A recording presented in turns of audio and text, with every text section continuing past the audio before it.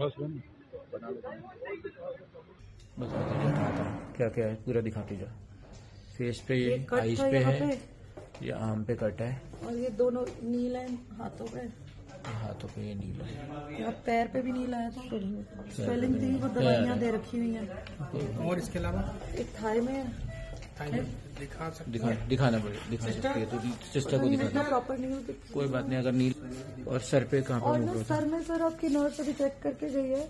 वो कह रही है अंदरूनी है आपको जो भी है वो ना कुछ दिख नहीं रहा है यहाँ पे भी देखो स्वेलिंग आपको दिख रही दिख है रही है प्रॉपर नज़र आ रही पे हाथ पैर में कहीं?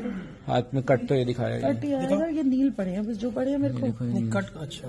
एक मुझे थाई यहाँ लगी है। एक सेकंड प्रॉपरली दिखाओ ये ये विवेक बिंद्रा ने पत्नी को बुरी तरह पीटा। पत्नी ने करवाई एफआईआर दर्ज। यूट्यूब पर पढ़ाते हैं गीता का पाठ।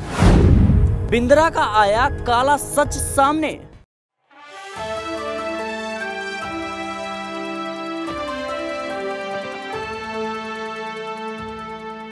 मशहूर यूट्यूबर विवेक बिंद्रा।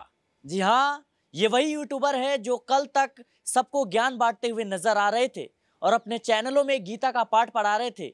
लेकिन अपनी ही पत्नी को इतनी बुरी तरीके से पीटा है। एक महिला पर हाथ उठाया है जिसका वीडियो अब सोशल मीडिया पर काफ़ी ज़्यादा वायरल हो रहा है। इस मुद्दे पर आज हम बात करेंगे। नमस्कार, मैं सिराज आपके साथ। आप देख रहे हैं next nine political bite trendy talk के इस खास एपिसोड में हम बात करेंगे विवेक बिंद्रा पर, जिसको लेकर काफ़ी ज़्यादा सुर्खियाँ अब बनती हुई नज़र आ रही है।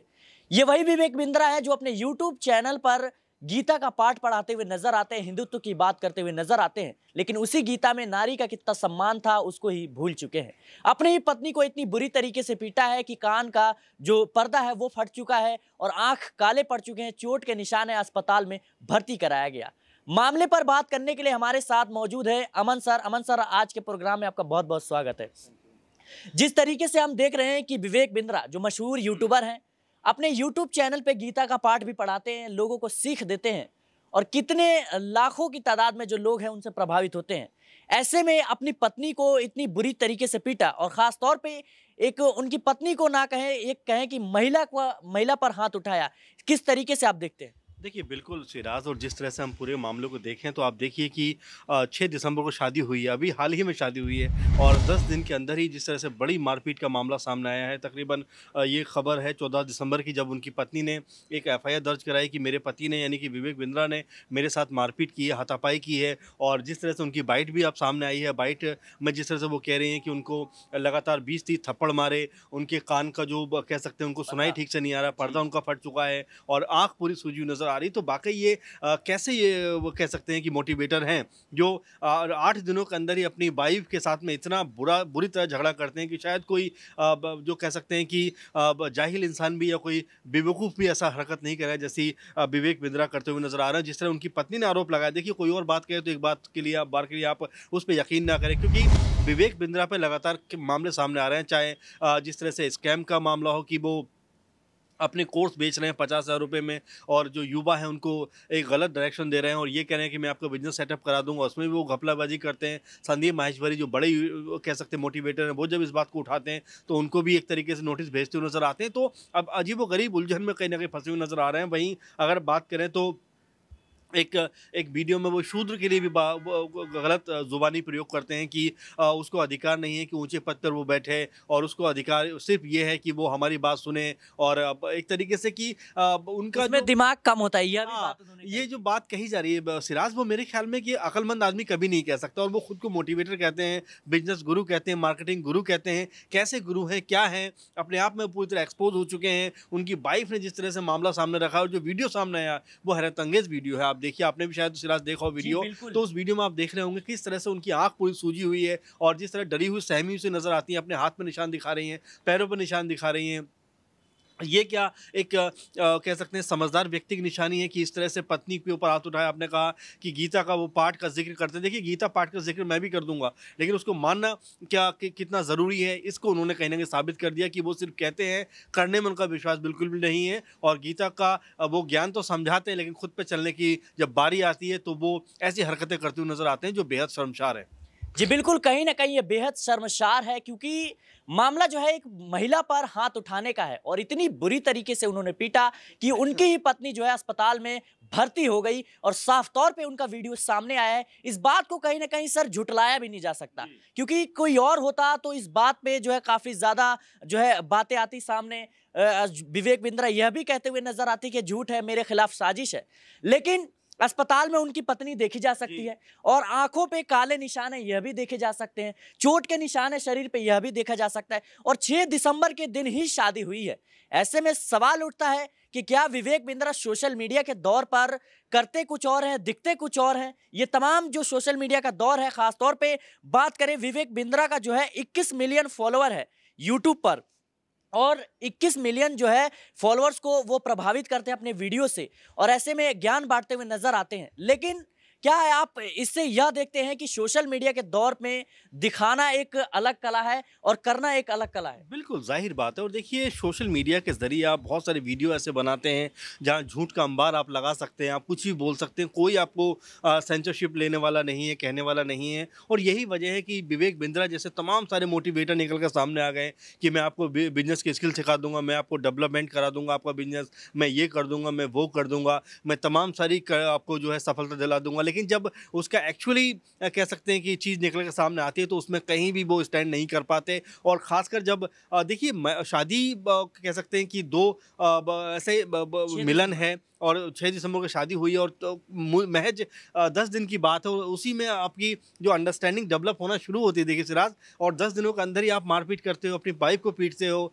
और कई थप्पड़ उसके मारते हो उसके कान के ऊपर आप बार हमला करते हो आँख के आसपास उसका निशान बुरी तरह से तो ये बताता है कि आप वाकई एक मोटिवेटर नहीं है। आप सिर्फ़ उस लिबास में ज़रूर है। मुखौटे में ज़रूर हैं। लेकिन जैसे ये मुखौटा उतरा तो अब आप पूरी तरह एक्सपोज हो गए हैं और आपकी पत्नी ने खुद आपके ऊपर इतने गंभीर आरोप लगा दिए हैं, जिसका मेरे ख्याल से अब आपको हक नहीं है कि आप कोई भी मोटिवेशन का वीडियो बनाकर आप डालें, क्योंकि आपने जो कृत्य किया है, अगर वो सही है तो वाकई बेहद ख़राब है, बेहद घिनौना है और आपको बिल्कुल भी जो अब तक आप करते रहे जो काम की मैं बहुत बड़ा मोटिवेटर हूँ, मैं लोगों को मोटिवेट करता हूँ बिज़नेस सिखाता हूँ, ये सिखाता हूँ, वो सिखाता हूँ, इन सब चीज़ों को करने का कोई हक नहीं है सिराज।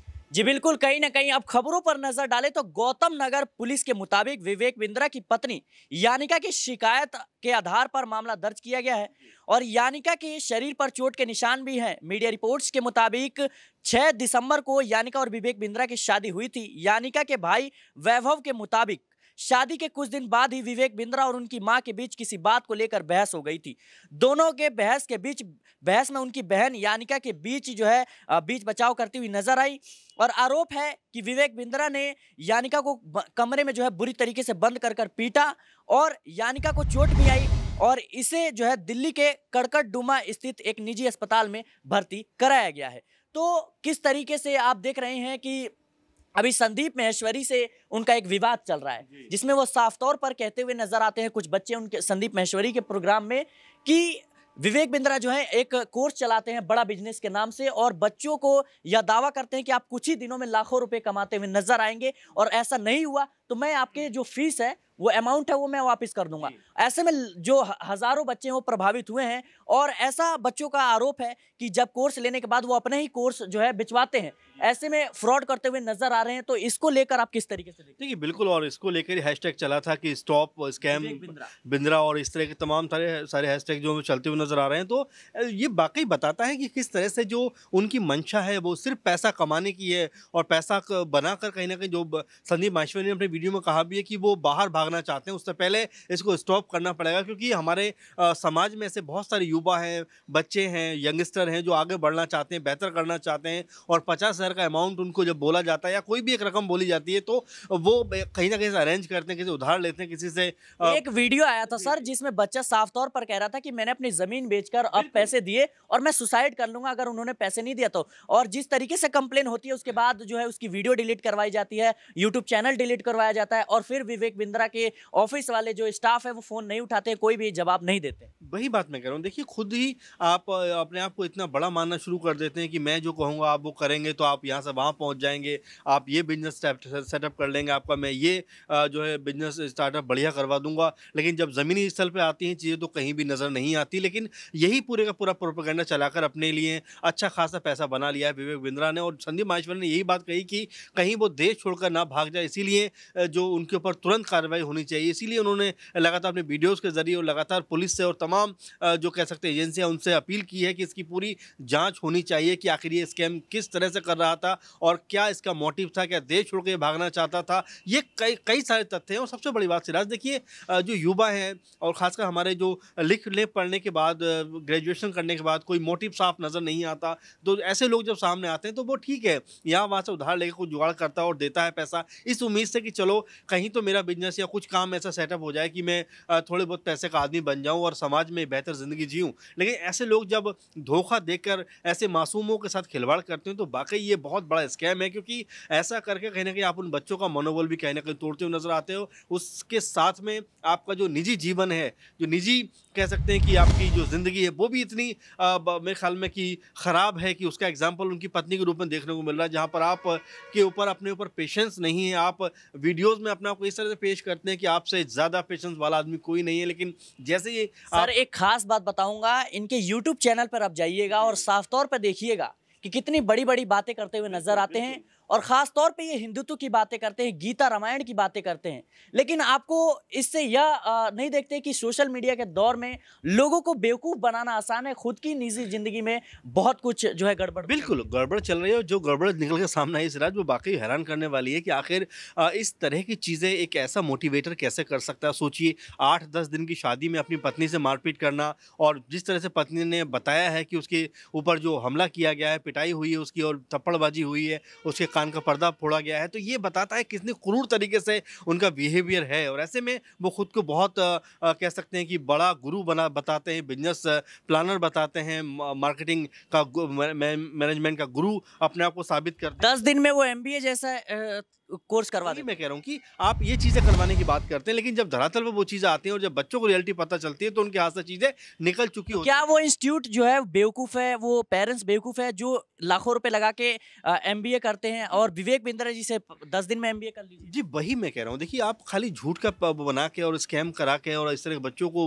बरगला के आप उनका भविष्य के साथ में खिलवाड़ कर रहे हो ये कहीं से भी अच्छी चीज़ नहीं है और उसके ऊपर ज़रूर अगर जो गलती है उसके ऊपर ज़रूर एक्शन होना चाहिए और जाँच होनी चाहिए। कि आखिर उनका क्या मकसद था, कब से वो ये काम कर रहे थे और कितने बच्चों की ज़िंदगी के साथ वो खिलवाड़ कर चुके क्योंकि ये मामला जो है लगातार बढ़ता चला जा रहा है और पत्नी का नाम जब से सामने आया तब से तो ये लग रहा है कि उनका निजी जीवन भी या निजी तौर पर भी बहुत ही कह सकते हैं कि उनका जो व्यवहार है वो अच्छा नहीं है, कहीं से भी कह सकते हैं सही नहीं कहा जा सकता। अब इसको लेकर क्या कुछ होता है, किस तरह से होता है तो आने वाले दिनों में देखना होगा, लेकिन फ़िलहाल विवेक बिंद्रा पूरी तरह से एक्सपोज होते हुए नज़र आ रहे हैं। जी, बिल्कुल, कहीं ना कहीं आपने सुना, विवेक बिंद्रा की सच्चाई। जो लाखों बच्चों को, लाखों युवाओं को प्रभावित करते हैं अपनी बातों से, लेकिन अब खुद ही एक्सपोज होते हुए नज़र आ रहे हैं। खासतौर पे अपनी ही पत्नी यानी एक महिला पर जो है हाथ उठाया उन्होंने और इतना बुरी तरीके से मारा कि वो अस्पताल में भर्ती हो गई। फ़िलहाल ये थी ट्रेंडी टॉक में विवेक बिंद्रा की सच्चाई। फिर मिलेंगे किसी गंभीर मुद्दे के साथ। बने रहे नेक्स्ट नाइन पॉलिटिकल बाइट के साथ।